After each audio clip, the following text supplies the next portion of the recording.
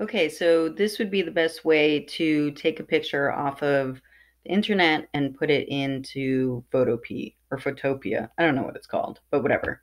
Anyway, so if I'm in Google Images and I click to get the bigger one, um, on my computer, I right click and I go to copy image. And then when I go to Photopea, um, I say new project and um, it actually uh, sometimes it matches the size of what's on my clipboard um, so that picture of that black beach. And sometimes it it doesn't. It's kind of weird. It depends if you've been using it for a while or not. But anyway i'm just going to say create. So let's see how this is.